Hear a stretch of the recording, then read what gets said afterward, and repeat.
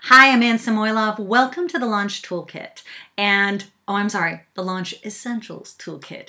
Because the essential part of this toolkit is really the very first thing that you're going to see right below this video, which is the 10 first steps to take when you're planning your launch. So go there right now, fill it out. There's even an interactive checklist right next to it. So you can kind of get, you know, you can check things off as you're actually doing them. And it is savable. So when you come back, you'll have your progress totally saved.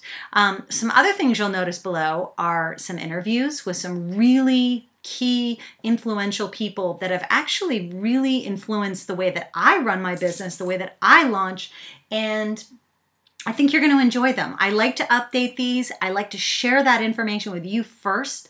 You may at some point, depending on when you join this toolkit or when you join the community, you may see that some of it has migrated over to the blog. It's because I don't like to hold back too much, even from people, even if you're not joining the list. I'm, I'm, I'm cool with that. So I want you to really start taking action today. And I'll be in touch in a little bit I'm going to check in on you. Don't be surprised. And you're going to receive a weekly newsletter from me, um, though I am playing with the frequency, so it might be less than a week every week. Um, I hope you enjoy everything that's below here, and I, I hope to hear from you. I want to hear what your feedback is. I want to hear what you need more of. Have a great day and get launching.